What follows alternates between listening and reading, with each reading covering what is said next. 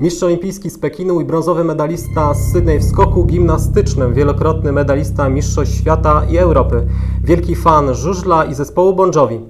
Naszym gościem jest wspaniały sportowiec Leszek Blanik.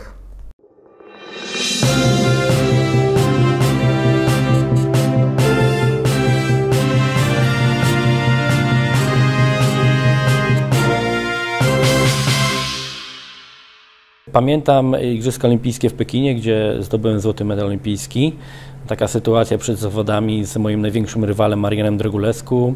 E, przed zawodami sportowcy zazwyczaj sobie gdzieś tam e, próbują dogadać i Marian podchodzi do mnie i mówi, o coś ci się przytyło, a ja nie wiedziałem co mam powiedzieć, a jakaś riposta musiała być zwrócona, więc e, zwróciłem się do Mariana dwie minutki później i powiedziałem mu, no będzie ci wstyd jak z grubasem przegrasz. No i przegrał.